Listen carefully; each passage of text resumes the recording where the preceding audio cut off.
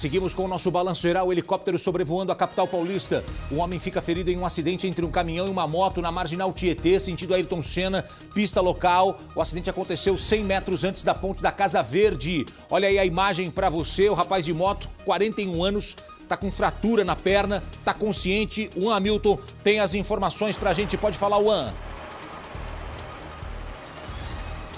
Olha, Gotino, exatamente isso é na pista local, esse acidente aí na pista sentido zona leste da capital paulista, como você disse, um pouquinho antes aqui da Casa Verde, a gente vê ali o Corpo de Bombeiros no atendimento, unidade de resgate também no local, com o pessoal da CT fazendo o desvio e a vítima, viu, Gotino, esse homem de 41 anos de idade já foi ali é, estabilizado, ele teve uma fratura exposta, infelizmente, na perna esquerda, essa fratura exposta está sendo controlada pelos homens do Corpo de Bombeiros e, é claro, muito trânsito agora aqui na região é, da Marginal do Rio Tietê, próximo à ponte da Casa Verde, aí na pista sentido Zona Leste de São Paulo, Gotino. Olha aí, ó. É, é, volta aquela imagem, por favor. É pertinho daquela entrada onde o pessoal ia construir aquele, aquele casarão do samba, não era? A obra que tá, faz um tempão aí que o pessoal tá para fazer negócio do samba, aí do, do, das escolas de samba, né? Que fica, fica à, esqui, esquerda aí da fábrica do samba. Isso, exatamente. Olha aí, ó, a imagem para você, ó, o acidente que acontece, aconteceu na Marginal Tietê. A gente mostra tudo, o helicóptero mostrando os flagrantes da cidade tudo ao vivo na tela da Record. Atenção, atenção, para informação ao vivo, o helicóptero da polícia vai dar um rasante agora na Marginal Tietê. O helicóptero da polícia foi acionado justamente para fazer o resgate do rapaz de moto que se envolveu em um acidente na Marginal Tietê agora há pouco que nós estávamos mostrando. Portanto, o estado de saúde dele é considerado grave para fazer a utilização aí do Águia da polícia. Olha só, o, o, o piloto ali do helicóptero da polícia já vai buscando um local para que ele possa fazer o pouso esperando a interdição da pista para que ele possa colocar, talvez no meio da marginal Tietê, o helicóptero, ou tem um espaço ali, ó, ah, pode ser no terreno aí da própria fábrica do samba que a gente tava falando, ó. Achou. Oh, oh, olha só, ou vem, ou vem pra marginal, ó.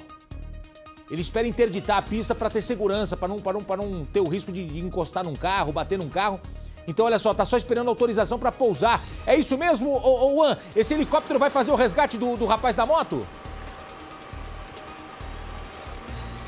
Olha, Gotina, exatamente isso. Inclusive, eu até chamar a atenção pessoal do Copom para dar uma ajuda. Eles estão tentando contato com os policiais em solo. Acho que deu certo agora. Eles vão interditar a pista local da Marginal do Rio Tietê. Os policiais militares estão lá embaixo, de trânsito já experientes, estão fazendo esse desvio do trânsito. Estão bloqueando completamente agora a pista local da Marginal do Rio Tietê, na pista em sentido Zona Leste, né, um pouquinho antes da Casa Verde, onde aconteceu esse acidente, porque há extrema necessidade do apoio médico no local. Ou seja, o médico do Águia é esperado pelos paramédicos do Corpo de Bombeiros da marginal já interditada. No movimento agora aqui do nosso helicóptero, eu vou enquadrar o helicóptero da Polícia Militar e a ocorrência e você vai ver aí, Gotino, o pouso final do helicóptero em plena marginal do Rio Tietê para dar atendimento a mais um motociclista ferido na capital paulista, Gotino. Olha, você tem que ter toda a atenção aí, ó, porque tem os postes, tem que ter a interdição do trânsito, não pode ter nenhum carro se aproximando, nenhuma um moto passando a... ali. Ele vai parar um pouco mais lá na frente, aqui onde tem a, a, entrada direita, que eu acho que é o espaço é maior, né? Eu acho que a entrada direita aí é para quem vai para Paquembu, né? Para a Avenida Paquembu. Olha lá, ó. Exatamente, eu acho que o, o, local que tem um pouquinho mais de espaço aí. Isso. Repare o trabalho, é, o, o, o outro, o outro policial vai orientando ali, ó, para que eles possam fazer esse pouso. Precisa ter a, a, a garantia de que tá tudo certo. E vai o médico ali também, né? Vai o médico também. O rapaz de moto acabou se envolvendo, acho que com um caminhão, né? A gente tinha mostrado aqui, ó. É bem na entrada ali para quem vai para o Pacaembu. Ele vai descer exatamente na, na, na, entre a pista dire... a marginal da direita e a entrada, né? É a pista local da marginal é, Tietê, no é. sentido Zona Leste, e essa faixa da direita aí para quem vai em direção ao viaduto Paquembu, aqui pertinho da Record. A Record está a 200 metros aí, 300 metros dessa região. E, exatamente no local que o Lombardi falou, ó, tem um espaço um pouquinho maior, é mais seguro. E aí eles vão levar o rapaz de moto até esse helicóptero e possivelmente vai ser levado para o Hospital das Clínicas, que é o hospital central que é muito é bem perto pertinho, aí. né? Deve dar uns 5 minutos. O Juan vai falar melhor do que eu, mas deve dar uns 5 minutos ele, com o helicóptero em voo até as clínicas, né? É isso. Daí, daí, daí para clínicas é rapidinho, né, Juan? Pode atualizar o noticiário desse acidente pra gente.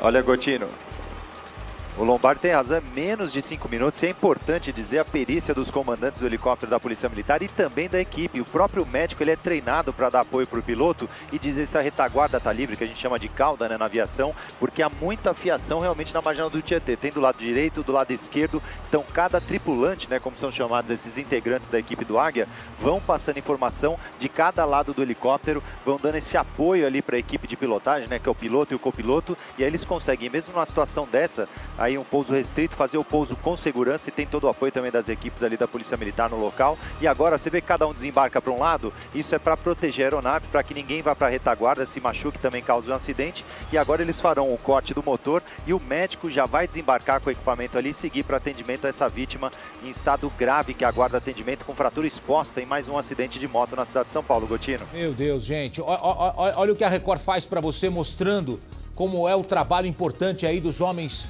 do, do Águia. Os socorristas agora correm no meio da marginal Tietê, na pista local. Do lado esquerdo, uh, os bombeiros que chegaram para os primeiros socorros.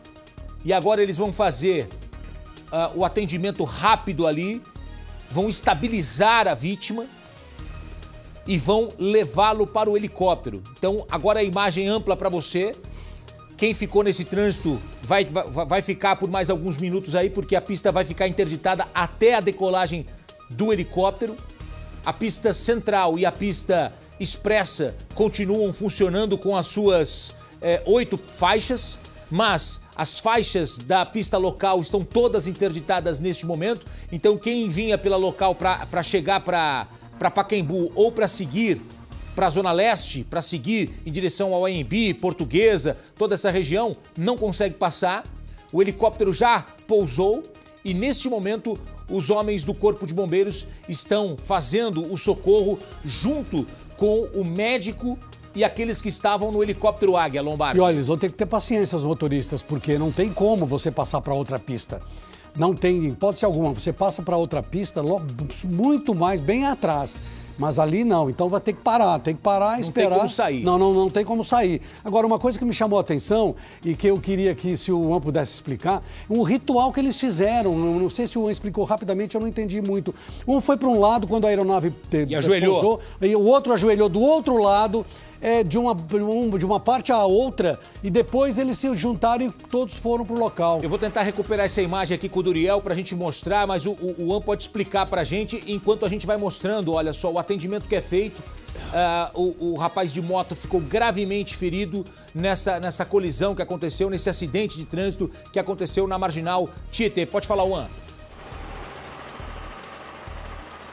Olha, Gotina, eles fazem esse procedimento para proteger a cauda da aeronave, para que ninguém se aproxime, como ela é um pouco mais baixa e gira muito rápido, é extremamente perigoso para o piloto que está dentro do helicóptero, se alguém se chocar com a cauda, o helicóptero pode perder o giro ali e girar no próprio eixo, e também, é claro, para alguém se atingir a cauda. Então eles ficam ali com atenção 100% para o rotor de cauda e também, é claro, para o rotor principal, se alguém chegar com um objeto muito alto, até o que o piloto tenha segurança ali e faça o corte do motor. Eles ficam nessa posição estratégica, aguardando ali para que todos desembarquem com segurança. Isso é para proteção da aeronave e também das pessoas que possam se aproximar do helicóptero, viu, Gotino? Tá aí, gente, a informação em tempo real para você. Esse é o comandante Juan, a vítima sendo colocada olha só, na prancha agora, vai ser colocada dentro da aeronave e eles seguem para o hospital. Um acidente envolvendo uh, um rapaz de moto uh, na marginal Tietê, no começo da, da, da tarde desta sexta-feira, eles interditaram a pista local, à altura da ponte da Casa Verde, ali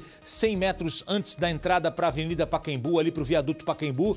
E nós temos o helicóptero Águia que pousou em plena marginal Tietê para fazer esse resgate. Mais alguns minutos o helicóptero decola, por isso que quando eu chamar a reportagem vai ficar uma artezinha, vai ficar um espaço ali mostrando o helicóptero decolando, é o voo pela vida, porque eles estão tentando salvar esse rapaz que teve fraturas neste acidente. Atenção minha gente, o helicóptero Águia da polícia leva neste momento o rapaz que se envolveu em um acidente de trânsito na marginal Tietê. E olha, acredito que poucos minutos, né, Juan? Rapidamente esse helicóptero chega. Vai, vai passar aqui em frente à Record, ó.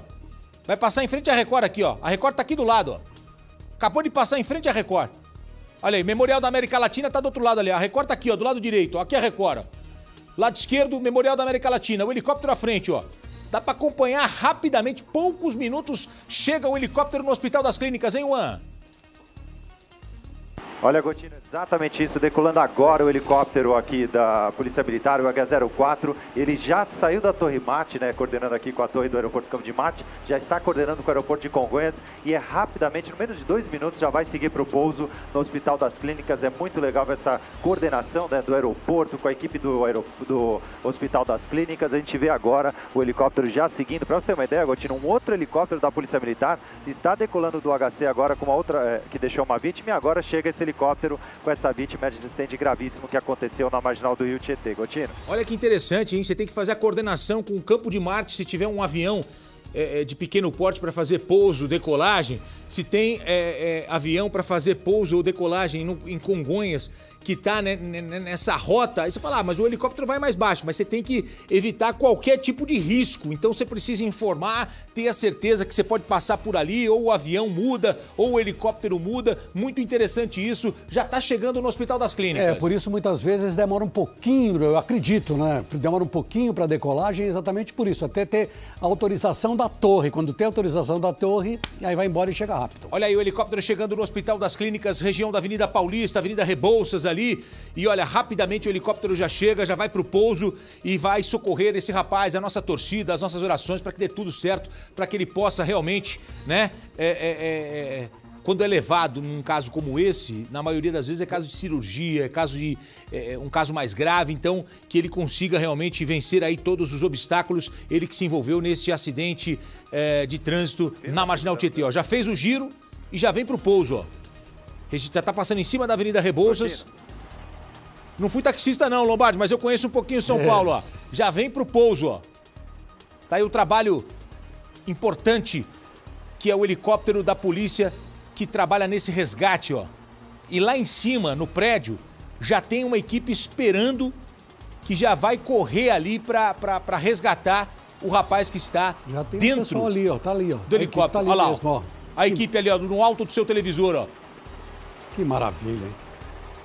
Esse pessoal da saúde faz um trabalho maravilhoso, né? É impressionante isso, não é? É uma coisa muito legal, porque você vê, a equipe já recebe a necessidade, porque já tem o diagnóstico ali e já vai direto para a sala de cirurgia, sem dúvida nenhuma.